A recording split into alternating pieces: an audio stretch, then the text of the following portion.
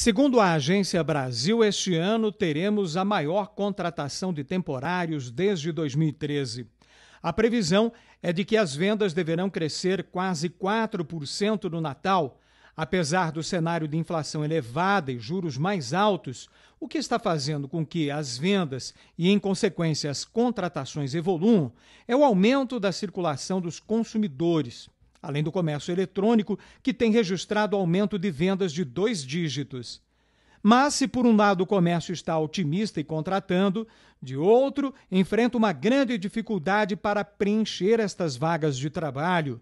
O presidente da Associação Comercial de Pato Branco, empresário Roberto Elias da Silva, disse que a dificuldade é real. Pato Branco tem essa dificuldade, os empresários do comércio em geral com dificuldades para contratar pessoal qualificado, pessoal para vendas.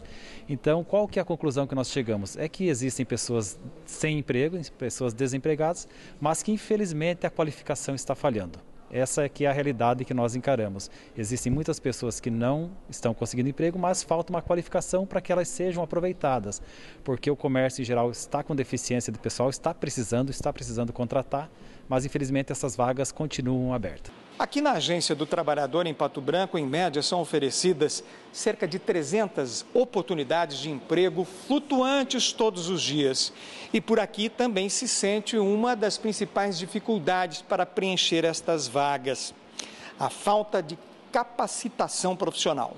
A gente sempre vem falando para os trabalhadores que da importância da qualificação, porque o mercado está cada vez mais competitivo e se o trabalhador não se qualificar, ele vai ficando para trás.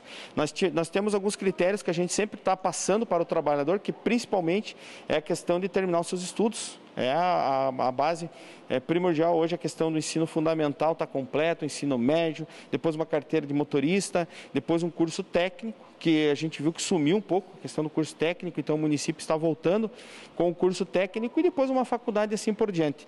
A gente pede então que os trabalhadores, a população como um todo, venha até a agência do trabalhador, que nós estamos com muitas é, qualificações disponíveis que a gente vai estar passando é, para o trabalhador buscar esse aperfeiçoamento. A palavra de ordem para quem deseja entrar no mercado de trabalho e preencher estas vagas oferecidas é qualificação. Oportunidade tem, mas tem que ter qualificação para que cada vez mais possa se ter a oportunidade para prover o seu sustento à sua família.